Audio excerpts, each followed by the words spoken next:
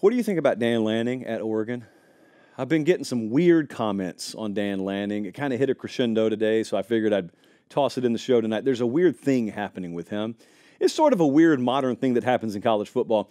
This dude has been a head coach all of two years, going into his third year now at Oregon. He is 22 and 5 as a head coach, not a typo. Got two top 15 finishes. They're recruiting at a top five level, maybe better this point moving forward. They've been assassins in the transfer portal. And so I say that to someone who doesn't know me any better, and I they'd say, That sounds great. This guy sounds like one of the best head coaches in the game. That's good, right? Nope. Nope. Not according to trusted internet sources, it's not. I put out a tweet today and I said, uh, let, me, let me actually get you the exact quote. It was a classic fill in the blank. What a revolutionary concept I came up with there. Fill in the blank. Dan Lanning's next five years will blank. Got a ton of comments, uh, got a ton of traction on this. Here were some words. Uh, the word can't was involved a lot. He can't win the big game. That won't change. He never will. You know, Oregon will just be talented, but they never will get over the hump.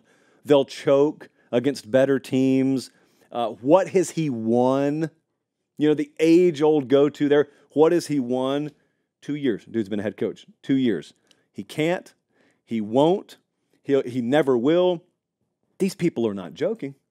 Eh, I, I saw Bud Elliott going back and forth with someone today. And the, the dude was just saying, well, Dan Lanning always, always what? Dan Lanning doesn't always even park in the same spot at the football facility. He hasn't been there long enough. So, anyway, the book's apparently been written on Dan Lanning. You remember how I explained wish casting to you the other day? It happens. It's happening with Dan Lanning. Here's some truth serum for you. I think a lot of the Big Ten, if they're smart enough, should be fairly terrified with what Oregon's doing right now, but they don't want to be. Just like me growing up in Georgia as a winter weather fan, did not want to accept the fact that it was going to be 68 degrees on Christmas Day. I wanted a white Christmas. So what did I do? Never mind the fact that it's the first week of December and there is no dependable long term forecast out. I just start blindly believing it's going to snow this Christmas. This is the Christmas. Fortson, Georgia, it's going to snow this Christmas. December 10th, December 15th, December 20th, the, the 15, 10, five day forecast, not looking good, but I just wish cast it, you know, because that's how snow actually happens. Well, sure enough, Christmas morning, rooster crows, 63 degrees and sunny. What happened? The same thing that's happening to those foolish enough to think Dan Lanning, all of two years in, has taught you everything you need to know about what he and Oregon will be as both a head coach and a program moving forward. So I am to believe that two years in, since this dude has lost a couple of games to Washington, uh, since he got boat raced by Georgia in game one of year one as a head coach, that's it. That's it. We've learned everything we need to know. Because the one thing we know about Nick Saban, for example, is he never lost early in his career, did he? Well, oh, getting word Nick Saban lost plenty. In fact, I'm, get, I'm getting word Nick Saban wasn't remotely what you know Nick Saban as until years into his coaching career. We don't afford guys the time to do that anymore, I guess. I got a story for you. Once upon a time, this is worth worth the paper pop here. Once upon a time, there was a head coach that got his shot. And he was a promising up and comer, pretty big name in the assistant coaching world, a really good recruiter and he took this new job, high profile job, and he won pretty quickly. And he recruited at a very high level, and it had amazing intensity and energy. And the program quickly came to adopt his energy and his identity. However, there were critics. There were critics who, after a few chances in big games where they came up short, said, he just can't win the big one. He just can't get it. They just can't get over the hump. And this dude's name was Kirby Smart. And no one who was ignorant enough to say it about him at the time is ever around to admit they said it.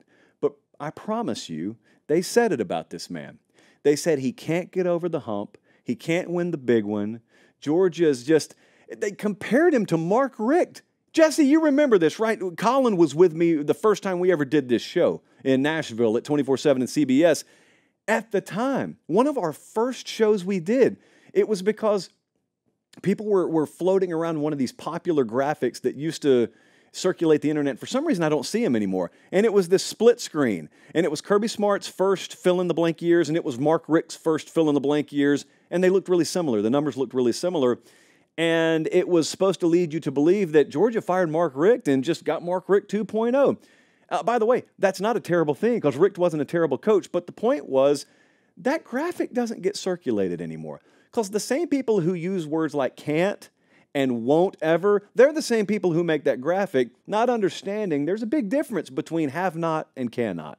Uh, Kirby Smart had not won a title at that point. He has since won multiples and, and probably not done winning them. Dan Lanning, right now, there's a lot of things he has not done yet that maybe cannot is the wrong word for. They aren't stopping, is all I know. At Oregon, the effort right now, the stacking of elite recruiting classes, is not going to stop. I don't even know if they'll make the playoff this year. I'd, will, I'd be willing to bet they are. I don't know if they'll win the Big Ten in year one. I'd be willing to bet they'll be a big factor in it. Even if they don't, I don't care if they go nine and three and miss out on the thing entirely this year. They'll be right back in the conversation next year, and then the year after that, and the year after that, because they're not a window program. Oregon, once upon a time, was kind of fashioned as a place where if you build and you build and you build, you look two years down the road, you can circle that year and say, all right, well, we got this team. If we can hold it together, we may have a puncher's chance that year. That's not Oregon anymore. Because Dan Lanning did what I thought was impossible. He built an SEC program on the West Coast. The last one to remotely come close to doing something like that was Pete Carroll in the early 2000s. And that's when that term SEC program didn't even mean what it means now, because the SEC as a conference was not then what it ended up becoming and what it long since has been now. Lanning's exposure to head coaches has included working under Nick Saban and working under Kirby Smart. And if you were to copy paste those guys and drop it in Eugene, Oregon, you'd basically have Dan Lanning. So they nailed their coaching hire. He has returned and returned and returned on that investment in the way of building a roster that's going to be a sustainable year over year contender. And what you do is the same thing you do at Bama, same thing you do at Georgia, same thing you do at Ohio State. You get the best players. You got to be relentless. You, you can never have too many. You, you can, it's like watching a squirrel store up nuts for the winter. You fill those cheeks as much as you can, or in this case, you fill that roster as much as you can. You got to be as selfish and as cutthroat as possible because injury happens, but also you're eventually going to go toe to toe with one of the few other programs in America that recruit the same way you do. All due respect, they're not stacking this roster because they got to face Purdue. They're stacking that roster because they got to face Georgia one day. They got to face Ohio State. They got to face Texas. They got to go through Alabama. They know who they have to go through. They'll be in that conversation every year. Anyone who suggests otherwise is suggesting it a lot more out of wishing than guided knowledge. So I took it upon myself to bookmark a whole lot of this stuff today because a lot of the things that I, I, think they have not done so far are about to get crossed off a list in the not too distant future. And then what do you say? Just talk about Phil Knight, I guess, talk about Nike, you know, as if that's not part of the game these days.